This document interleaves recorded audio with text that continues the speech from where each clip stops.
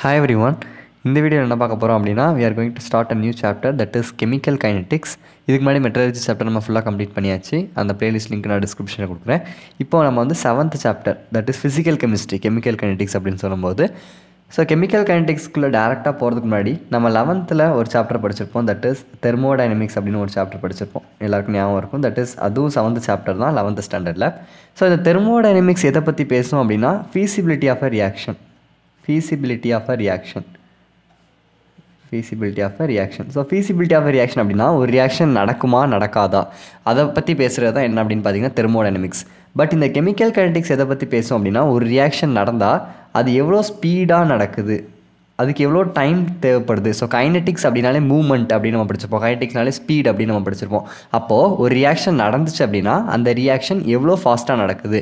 அந்த ரியாக்டன்ஸ் எல்லாமே ப்ராடக்ட்ஸாக கன்வெர்ட் ஆகிறதுக்கு எவ்வளோ டைம் தேவைப்படுது? அதை பற்றி பேசுகிறது தான் என்ன அப்படின்னா இந்த கெமிக்கல் கைனட்டிக்ஸ் ஓகேவா ஓகே ஃபைன் ஸோ இப்போ பார்த்தீங்க அப்படின்னா இப்போ நம்மளுக்கு ஒரு ரியாக்ஷன் எடுத்துக்கலாம். இப்போ ஃபார் எக்ஸாம்பிள் பேசிக் பேசிக்காக ஒரு ரியாக்ஷன் எடுத்துக்கிறேன். A plus B gives C இப்படி ஒரு ரியாக்ஷன் கெமிக்கல் ரியாக்ஷன் எடுத்துக்கிறேன்னு வச்சுக்கோமே. Consider this a chemical reaction இந்த ஏபி அதாவது இந்த ஆரோ மார்க்கு முன்னாடி லெஃப்ட் சைடில் இருக்க இந்த ஏபியை நம்ம என்ன சொல்லுவோம் அப்படின்னா we call this as reactants இதை நம்ம என்ன சொல்லுவோம் அப்படின்னா ரியாக்டன்ஸ்னு சொல்லுவோம்.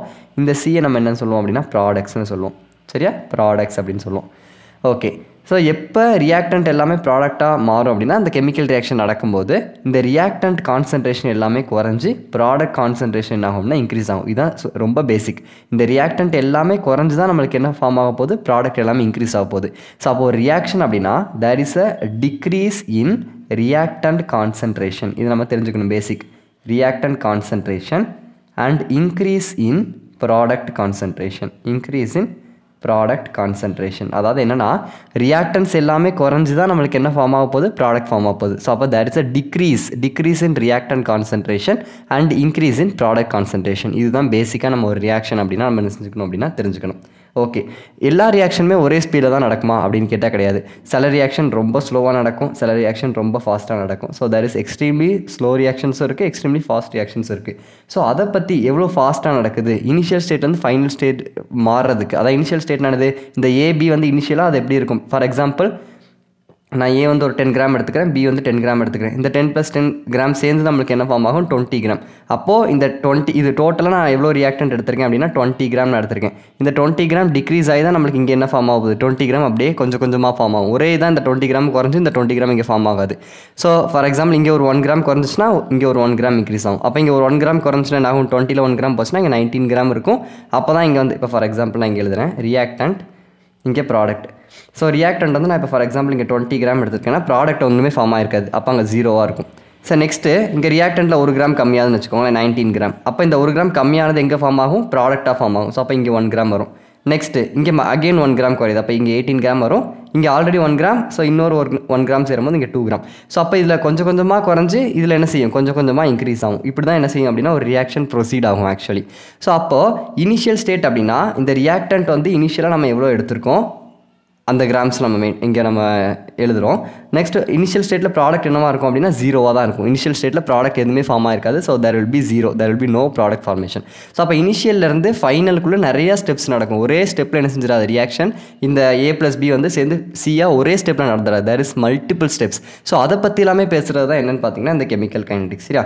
ஸோ கெமிக்கல் கைனடிக்ஸ் அப்படின்னா it is a study of note பண்ணிக்கோங்க. It is a study of உங்கள் புக்லேயே இருக்குது it's a study of rate and mechanism of chemical reaction என்ன ரியாக்ஷனை பற்றி பேசுகிறோம் chemical reaction it is the study of rate and mechanism of chemical reaction rate அப்படின்னா speed எவ்வளோ ஸ்பீடில் நடக்குது? எவ்வளோ டைமில் இந்த ஏஎம்பியும் சேர்ந்து எனக்கு சிஏ கொடுக்குது?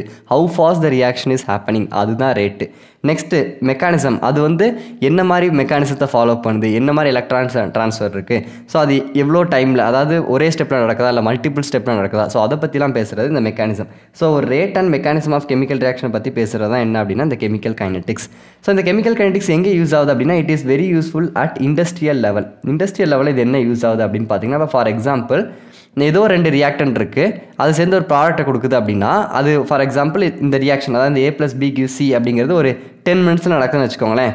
இதை நான் ஒரு கேட்டலிஸ்ட் போடும்போது அது ஃபைவ் மினிட்ஸ் நடக்குது அப்படின்னா அதுக்கு நான் எந்த மாதிரி கேட்டலிஸ்ட் எடுக்கலாம்.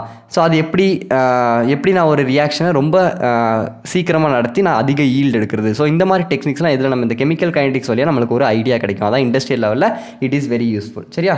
ஸோ இந்த லெசனில் நம்ம என்ன படிக்க போகிறோம் இந்த கெமிக்கல் கைனடிக்ஸில் பார்த்தீங்கன்னா மெயினாக ரேட் ஆஃப் ரியாக்ஷன் படிப்போம். அந்த ரேட் ஆஃப் ரியாக்ஷனில் ரெண்டு டைப் ஆஃப் ரியாக்ஷன்ஸ் இருக்குது ஒன்று zero order reaction and another one is first order reaction அப்படின்னு இது ரெண்டும் ரொம்ப important and factors affecting the rate of reaction இதெல்லாம் மேஜராக ரேட் ஆஃப் த ரியாக்ஷன் பற்றி தான் படிக்க போகிறோம் அதுக்கு என்னென்ன ஃபேக்டர்ஸ் அஃபெக்டிங் என்னென்ன டைப்ஸ் ஆஃப் ரியாக்ஷன் இருக்குது அதுக்கான இன்டகிரேட்டட் ரேட்லாம் எப்படி டெரைவ் பண்ண போகிறோம் இதுதான் இந்த லெசனை பொறுத்தவரை ஸோ கெமிக்கல் கைனடிக்ஸ் அப்படின்னா என்ன நீங்கள் தெரிஞ்சுக்கணும்?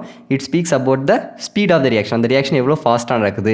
ஸோ எவ்வளோ டைமில் எவ்வளோ ரியாக்டன்ட் எவ்வளோ ப்ராடக்டாக கன்வெர்ட் இருக்குது ஸோ இது மாதிரி பற்றி தான் என்ன செய்ய போகிறோம் அப்படின்னா இந்த லெசனை நம்ம படிக்க போகிறோம் ஸோ ஜஸ்ட் இது ஒரு இன்ட்ரோடக்ஷன் வீடியோ தான். நெக்ஸ்ட் வீடியோவில் ரேட் ஆஃப் த ரியாக்ஷன் அப்படின்னா என்னென்னு பார்க்கலாம். தேங்க்யூ